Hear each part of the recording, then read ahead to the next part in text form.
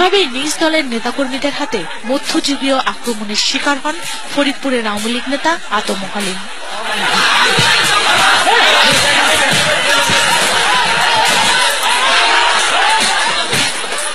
সকাল এগারোটার দিকে গাড়ি বহন নিয়ে নিজের নির্বাচনী এলাকা সালথা ও নগরকান্দা এলাকায় যাচ্ছিলেন।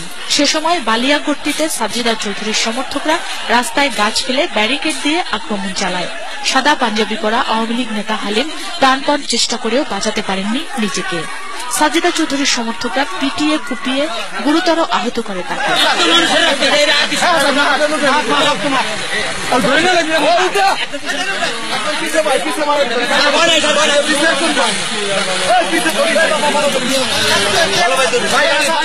শুধু নেতাকে আক্রমণ করে ক্ষান্ত হননি উন্মত্তরা। গণমাধ্যমের গাড়ি ভাঙচুর করে আগুনে পুড়িয়ে দেয় বেশ কয়েকটি গাড়ি। সমর্থকরা বলছেন আগামী সংসদ নির্বাচনে প্রার্থী হওয়ার আগ্রহ প্রকাশ করায় এই আক্রমণ চালানো হয়েছে। প্রতিহিংসা আওয়ামী লীগ আওয়ামী লীগের ভিতরে প্রতিহিংসা যেহেতু উনি ক্ষমতায় আছেন উনি আগামীতে নমিনেশন চাওয়ার। তাই এই হিসেবে মানে হামলাটা। চৌধুরীর ছেলে চৌধুরীর ক্যাডার বাহিনী আছে কিছু তারাই করছে। তবে সালথা উপজেলার আওয়ামী লীগ সভাপতি এই ঘটনার সঙ্গে দলের সম্পৃক্ততার কথা স্বীকার করেননি।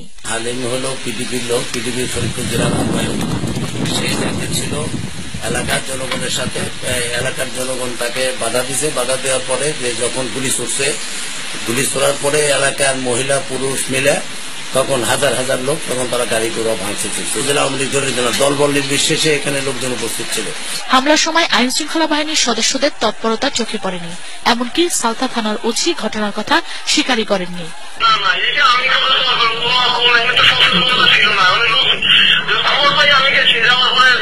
মানে আহত অবস্থায় মেজর অবসরপ্রাপ্ত হালিমকে প্রথমে ফরিদপুর মেডিকেল কলেজে ও পরে ঢাকার সিএমএইচে ভর্তি করা হয়। তবে এই ঘটনাকে কেন্দ্র করে এলাকায় থমথমে পরিস্থিতি বিরাজ করছে।